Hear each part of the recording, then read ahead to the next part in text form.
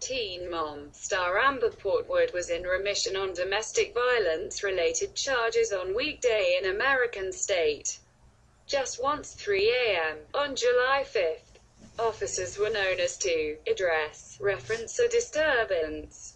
Officers spoke to the male victim who declared his live-in girlfriend and he were having a disagreement.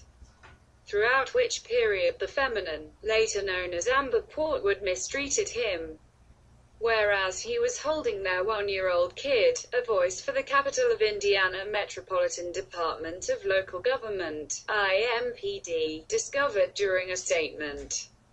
The Marion County Prosecutor's Workplace can review the case and create a charging call. The case also will be turned over to the American State Department of Kid Services as standing operating procedure on any case wherever a baby was gift throughout an occurrence.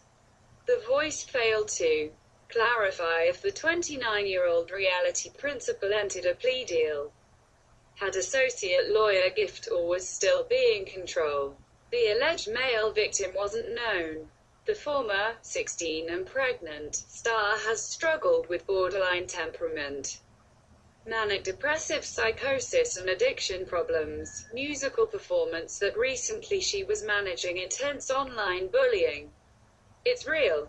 I simply happen to get on a preferred show with a mental state that's real. It's complete sabotage once you're known as a ugly female parent each day, she told co-star Catelynn Baltierra on the show last year.